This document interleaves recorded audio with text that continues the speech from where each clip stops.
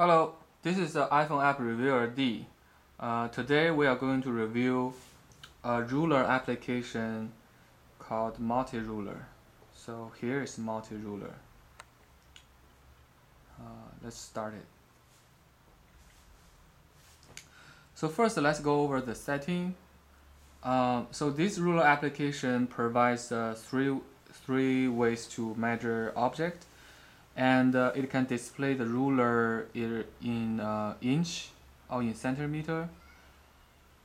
And uh, you can control you want to display the ruler either at the edge of the device or at the edge of the screen.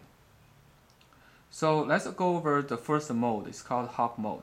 So I'll choose the hop mode uh, uh, scale unit is inch and I'll let the ruler start the zero point start at the border of the device. So let's go back and click start. So here's the hop mode ruler. So what I'll do is um, I'll align it with my physical tip measure and uh, I press start. And it shows you the direction you need to move your device and next, I'll put my finger to mark the edge of the device. Then I'll quickly uh, move the device towards my finger. So as you can see, the ruler will extend it automatically and display the next uh, uh, the next set of labels. Then I'll just uh, move again. As you can see, the ruler extended again automatically. And it's fairly accurate in terms of alignment against the physical ruler. So, and also I can swipe, you can use a finger swipe on the ruler to adjust what you want to show. And also you can uh, click anywhere on the ruler to save your measurement. Say now I just uh, double click on the on the 11s. So here I have my measurement. Uh, and I'll name it, uh, give it a name. I'll say desk uh, one, uh, desk, that's it. Let's say desk. So I'll sit down, save it.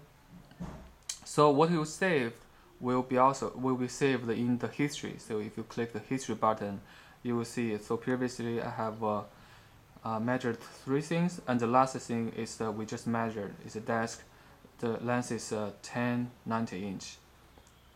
So now let's go back to uh, try the second uh, measure mode. So it's called rotate. And still we will use the inch unit and um, the start will be the border of the device. So let's go back and let's say start. So what you can do in this mode is uh, is uh, I can um, align my ruler either uh, vertically against something, then you can rotate uh, um, that way, or you can align it uh, horizontally and rotate it uh, uh, basically clockwise. So let me show you how uh, specifically how we do it. So first you align it horizontally against the border and you click start.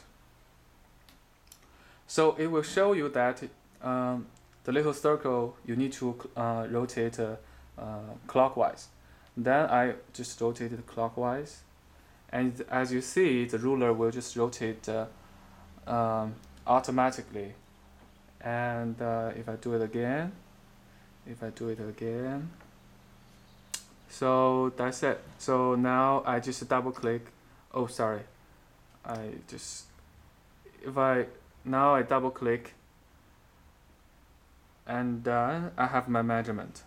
So let me call this uh, uh, box. Now I go back to the history and you see the measurement box uh, 12 12.22 inch. So that's that's the second mode. It's called rotate mode. The third mode is, is a slide uh, let's start so so what this slide mode do is it can give an estimate on the um, on the length of an object. So what you do is uh, you place you place it uh, horizontally, and uh, I press start. So now it shows you the direction. I'll then just move it quickly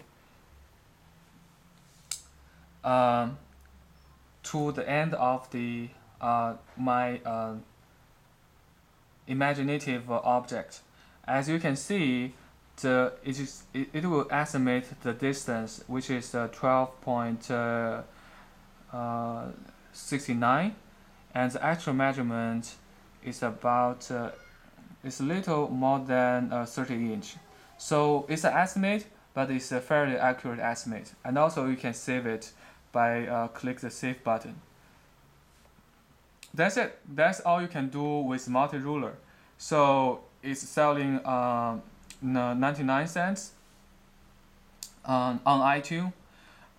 Um, I think it's a pretty handy uh, ruler application.